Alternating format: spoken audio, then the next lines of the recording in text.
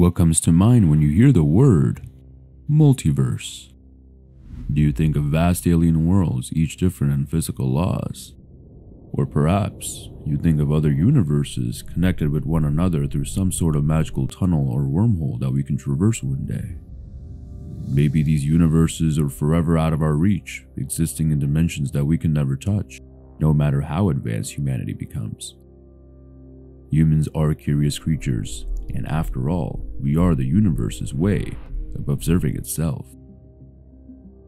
Parallel universes are no longer just a feature of a good sci fi story. There are now scientific theories to support the idea of parallel universes beyond our own.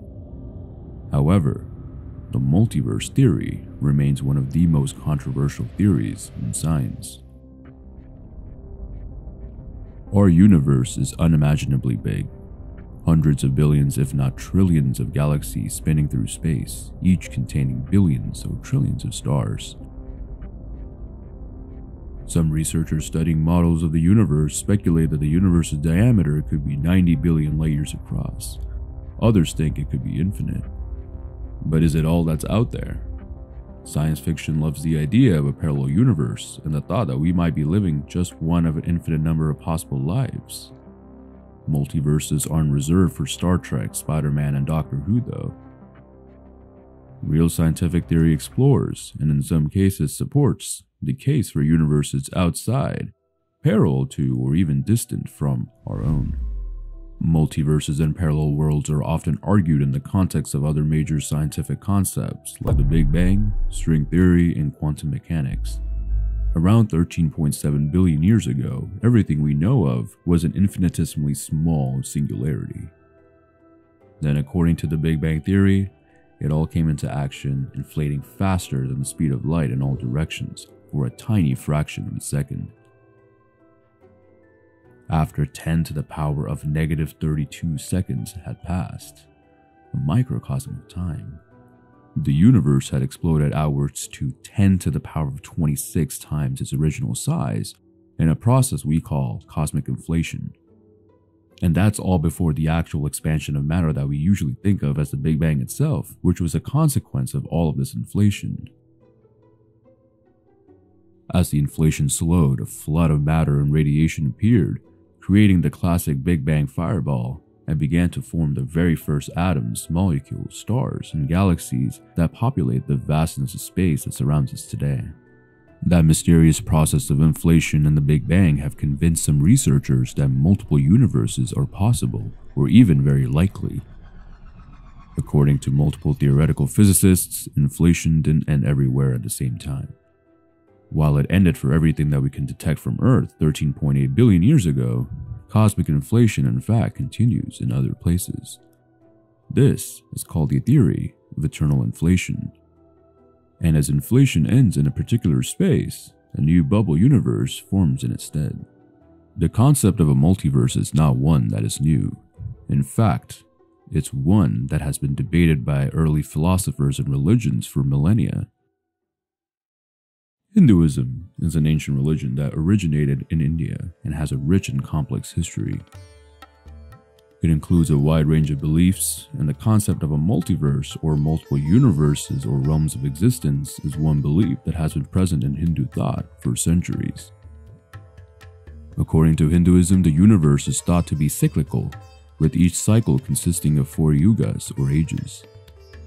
These ages are characterized by different levels of moral virtue and spiritual enlightenment, and are thought to be separated from one another by periods of great upheaval and change. Hinduism also includes the concept of lokas, which are different realms or worlds that are thought to exist within the universe. These realms are thought to be inhabited by different types of beings, including gods, demons, and humans, and each is believed to have its own sets of physical laws and constants. But the concept of the multiverse is not one that is tied down and confined to Hinduism only. The concept of the plurality of worlds or the idea that there may be multiple universes or worlds beyond our own has a long history in philosophy. Ancient Greek philosophers Democritus and Leucippus were among the first to propose this idea. They were major proponents of the philosophy of atomism, which holds that the universe is made up of indivisible, indestructible particles called atoms. According to their view, the universe is infinite, and that the atoms that make up the universe are arranged in an infinite number of configurations, giving rise to an infinite number of possible worlds or universes. Democritus and Leucippus argued that the universe and the objects within it are ultimately reducible to the atoms in the void, and that everything we observe in the world is a result of the movement and arrangement of these atoms. They also argued that the atoms are eternal and indestructible, and that the universe itself has no beginning or end. The concept of the plurality of worlds proposed by them was a radical idea for their time, and since then has had a lasting influence on philosophical and scientific thought. While the idea of multiple universes is still very much a topic of debate and speculation today, and the concept of atoms as the fundamental building blocks of the universe has been largely accepted by modern science. Let's talk about the different levels of the multiverse. According to Max Tegmark, a theoretical physicist, there are four different levels of the multiverse. A level 1 multiverse, also known as the many worlds theory, suggests that every possible outcome of every event that has ever occurred or will occur in the universe actually occurs in a separate universe. According to this theory, the multiverse consists of an infinite number of parallel universes, each with its own sets of physical laws, constants, and histories. The idea of the many worlds theory was first proposed by physicist Hugh Everett III in the 1950s as a way to explain certain strange features of quantum mechanics, such as the concept of superposition, an idea that a particle can exist in multiple states at the same time. Everett argued that the many worlds theory was a more satisfactory explanation for this phenomena than the traditional interpretation, which suggests that the outcome of a quantum event is determined by random chance. According to the many worlds theory, every time a quantum event occurs, the universe splits into a separate universe, each corresponding to a different possible outcome of that particular event. For example, if you were to flip a coin, the many worlds theory suggests that in one universe the coin will land on heads, and in another universe it will land on tails. This would mean that there are an infinite number of parallel universes, each with its own sets of physical laws, energies, and properties of matter. A level 2 multiverse proposes that our universe, or our level 1 multiverse, is actually held in a bubble and that that bubble is surrounded by countless other bubble universes, some of which, again, are like our own, and some of which are very different. These bubbles are then separated by vast stretches of space-time to form the new and ominous multiverse structure. The gaps between these multiverses could be so vast, however, that even if you were to be traveling at the speed of light, you wouldn't be fast enough to move between them since the space-time itself is expanding faster than even the speed of light. But nevertheless, what happens in these other unreachable bubble universes, you may ask? Well, according to level 2 multiverse theory, some could have totally different physical and fundamental characteristics. This is the main difference between level 2 and level 1. As they're not necessarily guided by the same fundamental laws, these other bubble universes could have different dimensions, different physical constants, and even different elementary particles from those that we see in our own. This creates the potential for some seriously mysterious and strange universes where, for example, in one, gravity or dark energy may be weaker, so there is no such thing as a home star or star system, or where atoms are unable to form together so there are no stars to speak of, for decades and centuries, scientists have puzzled how it is that our universe right now, the one that we live in, appears to have hit kind of a sweet spot with the laws of physics, enabling things to be the way they are and for life to form. This idea isn't the most popular because it suggests our universe works due to pure chance and coincidence, which is frustrating at best and faintly terrifying at worst.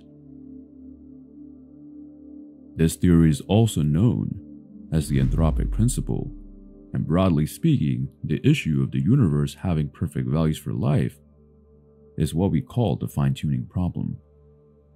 Regularly cited examples of it in our world includes the mass of elementary particles and the density of dark energy, both of which have to be exact. If there weren't so, then the chances are that we wouldn't even be here to ponder them, because none of this universe would be possible. If our universe were the only universe in existence, the chances of these numbers being so perfect seems frankly improbable and most likely impossible. However, in a level 2 multiverse, that problem is solved because our universe is no longer alone.